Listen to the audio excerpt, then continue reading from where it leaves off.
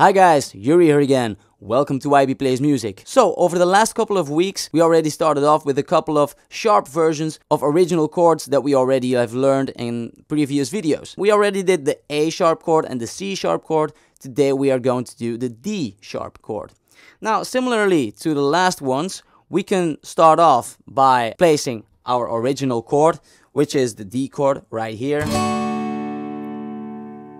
and the tutorial for that you will find it somewhere around here uh, a link to that. Now the first way that, that I'm gonna show you is actually not the most common way uh, to play the D sharp chord but I'm gonna show them you afterwards.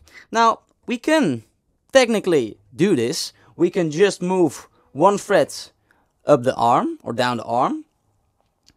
But if we want to play the four lower strings then we have to make another change because otherwise it sounds like this doesn't sound right, does it? We have to replace our fingers. Now I'm using my index, ring, and middle finger. And I'm gonna just replace them so I can use my middle, pinky, and ring finger. And then I have my index finger to uh, place on the fourth string on the first fret. Now this is actually not easy to place, certainly not in the beginning of my of my guitar arm because over there the frets are uh, further apart from each other. Alright? But we can play it like this. And we have the D sharp chord. Alright? Now, to make it a little more easy, we can start off by the second way to play the D chord, which was right here with my index finger on the fifth fret over the five lower strings. And then we have the D chord like this. How you play that, it's also in the tutorial how to play the D chord. Now if we start off with this position, and we move one fret up the arm, then we get the D sharp version. Here we go. That's the D sharp chord.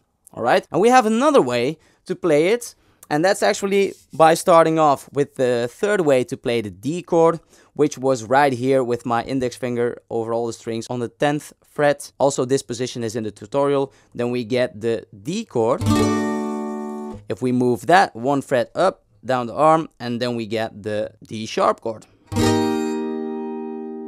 Alright, now it's already pretty hard to play it clean because we're so far down the arm uh, and it's not one that you will use that much, I believe. Not at least as a beginner, I think. So that's basically it for the D sharp chord. Next week we are going to do the F sharp chord. We skip the E sharp chord because I'm gonna tell you that in another video. Um, but next week the F sharp chord, stay tuned for that one. I hope you learned something again guys today. Don't forget to subscribe, like and share the video. Also don't forget I have reaction videos and music videos for you guys to check out. So thank you very much and see you guys next time. Bye.